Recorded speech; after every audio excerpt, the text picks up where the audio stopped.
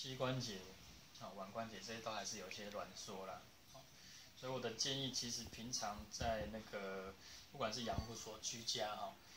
或是复健哈、其实还是要针对这个关节做一些运动。它的关节目前还是有一些弹性，还不是完全的卡住了，所以这部分还是要多做，否则你之后哈、这些关节哈、嗯更紧，它角度更大的时候会造成更多的问题。嗯比如说它这个伤，诶、会潮湿啊，和破皮啊，这些伤口难以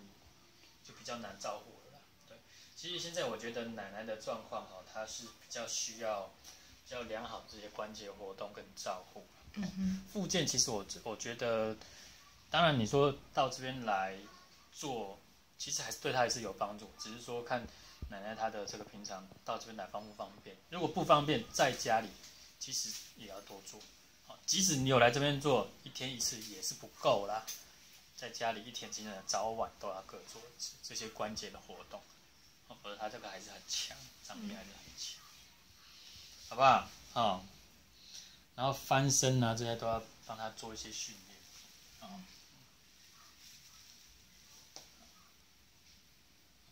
平常当然都是倒这边，但是你那另外一个地方，你看，可能因为长期都倒这里，对，长期都倒这里，你看我们在做这个动作，长上面弯，下面打直，这就是弯这边的动作。因为他长期都倒这里，变成说那个地方都没有去训练到。所以应该多给他倒那对对边嘛。对对，这个这个它的那个两边才会平衡嘛。哦，要让他以后要让他倒那边。对对对，哦，那两边都要训练的。哈我想知道这个腿啊，嗯我我呃送去做推拿，就他给他做好了以后，当然所谓做好也没有全部直了。那我那那个那个推拿师建议我用辅具，然后就是说帮他拉到某一个程度以后，是不是有什么辅具可以呃呃将那个成果呢保留呃维这个这个很持难，因为哈，它其实本身还是有这个张力啊。是所以我们没有办法，就没有办法说哦，做到一个程度，把它把它固定在那里，没办法。对你固定在那里，它它其实它身体还是会抵抗，那它那个压迫的地方就会影响到它的血液循环。所以原则上就是只能多做，早晚都慢慢的帮它拉。可是那样会、会觉得是好像是一个徒劳无功的东西，这个坦白坦白讲哈，因为呃，像奶奶这种长期卧床，这种张力已经既然已经形成了哈，你要回到最正常那种很难。我们现在要做的事情就是呃，避免她的关节僵硬。啊这些问这些，因为我平常正常的人我们都能活动，但是奶奶她没有办法靠自己活动，就得由旁人来帮她做活动。这不会是徒劳无功，你不做它只会更差。我们至少把它维持到现在的状况，甚至诶会不会再更好一点？它现在有比原来更好，这样子吗？确实是有更好。对，所以但是问题是，我的意思是说，这个工作真的是太太 没办法，这个对可能是要要你们要去接受，因为是说它是一个短期之间它很难看出效果，或者说你要去期待说哦，我可以我变得很直，这个有点困难。但是我们至少维持到它的关节活动度。对。我的意思是哎说，嗯，呃，那那那个推拿师跟我建议，就是说，是不是能用辅没具，就是你拉完了以后，让它固定在那至少一段时间，拿师他们让他的脚呢可以固定在那个角度这个东西我们有一种辅具叫做呃绑腿啊，啊。哦不过那个绑腿以奶奶现在这个角度哦，不太适合。当然我不晓得说她在推拿室那边到底是拉的，就是做完之后到底有多直，呃，没有很直，就是比这个比这个比这个还要再高一点，高高一点是弯一点还是？弯一点，那那个那我跟你讲，那个绑腿的那个那个效果可能因为绑腿基本上它还是要直的。对，你稍微弯一点可能还可以。好，你如果这样子的角度，这样子的角度，哎，或许我们这种绑腿，我们可以稍微把它固定。像这样的角度，你根本拉不起来。所以你的意思是说，像这只脚这是可以绑腿的，可以，可以用绑腿的。但对。但其实它现在这只脚的状况是比较松，比较松。对，好，所以这个地方我们如果你用一个绑腿或者是可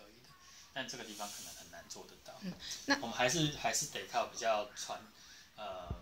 土法炼钢的方式，对对对，没有办法他他你们想象的就是说，诶去维持到那请问一下，我有听说过像这样的话，有一种义肢义肢的那种呃东西，义肢嗯嗯嗯啊，是不是它有一些钢架？那是不是用那个东西啊可以调整性的钢架？就是说，我们当我们把它拉到那个角度的时候，我们就用那个一支的钢架跟它固定。基基本上固定个这大概是半个钟头或怎么样，再给它放开，那它至少它的那个会固定在那个角度上，它的肌肉就可以现现在或许有这样的东西，但是一般我们临床在使用比较少用的，因为它那个地方那个东西大部分针对一些呃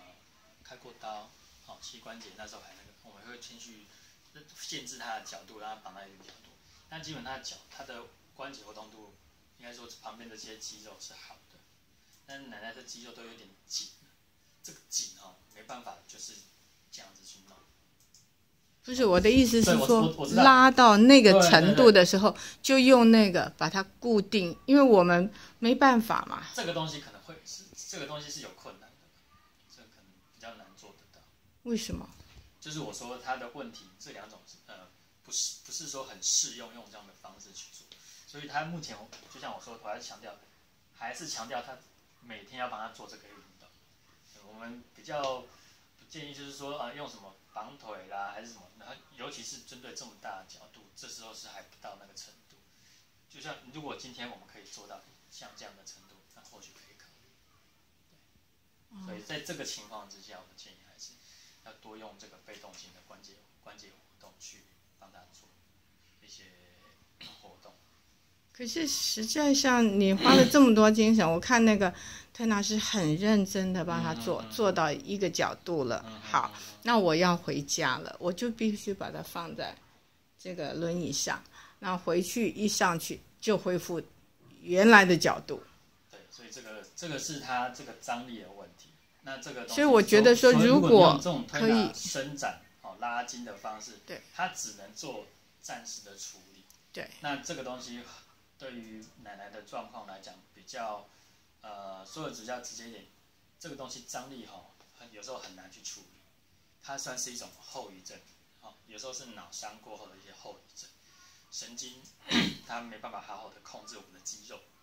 对，所以这个外部的这种就是拉筋啊、伸展都只是暂时的，对，啊，但是你不做又不行，因为你不做，它就一直硬的，硬了以后关节就僵了，那这时候问题就更多。因为它原来翘的是更高的，嗯，翘到高的程度所以像，使得属膝部都的皮肤都都都造成病你们现变。在呃，吞咽的部分呃多久来做一次？一个礼拜一次，一个礼拜一次所以他现在在安阳院在哪边？就在这附近在。这附近。对。所以像一个礼拜一次的话，就是你会从那边。对，推过来就好了。对那安养院那边有人帮他做这些活动吗没有，就是我就是那个人就是我，你看到的就在这儿。但是哦我发现有有有进步，有有进步。所以你刚刚给我，我我这个结论一下，就是要睡那边，哎要让他转那边，对对对对，看看呃，对对对，嘿，让两边平衡一下，或许这个东西都会，因为就像我说的，你转过来，它就这只脚很自然就会比较朝弯的地方，啊哈嘿它这样子会比较平衡的。啊哈，所以你转过去，我们试试看，好，然后再来就是说，刚刚说的这个关节活动拉，慢慢的拉，好，我们不用一次拉很大力，就是慢慢的拉，它这个还是被你拉开的，你看，好，这个关节还是会慢慢的越来越开，好，只是它很慢，因为它这个地方很紧，你一手摸这边，对，对就是有一有一个对很紧啊对对，因为它长期弯，对，长期弯，肌肉维持在那个地方，它的长度就会越来越短。嗯哼，啊，啊，所以你还是你慢慢的拉肌肉会有知道说啊，我现在身体需要我伸长一点，那它才会慢慢的延展，懂意思吗？好，所以它你现在达到一个程度，可能就停住了，因为它这个地方也太紧了，所以就慢慢回去，再来，嗯哼，好，你就这样慢慢的做，嗯哼，其实这些运动哈，应该要请物理治疗师哈，再教你们做，因为就像我说的，你即使每天都来做，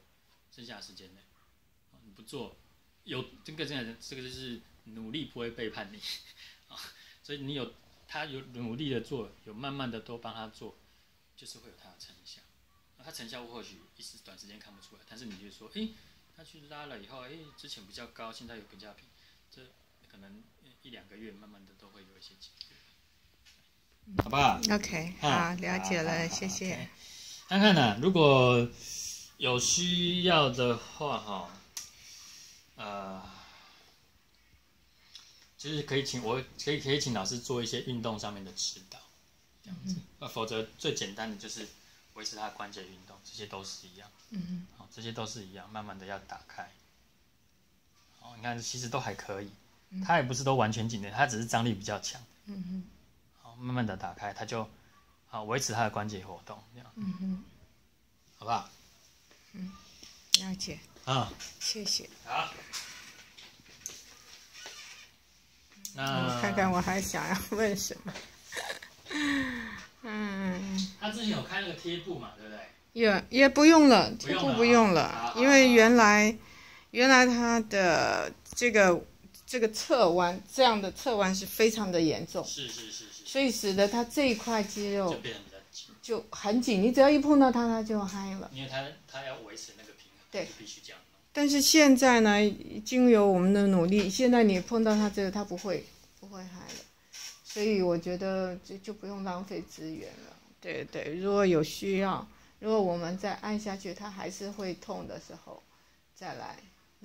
我们先照这样的方式，就是刚才只就是我们刚才结论的一些哈，嗯，好翻身啊，或者躺另外一边啊，这是被动关节运动，手脚部分都再加强一下啦，嗯好吧嗯，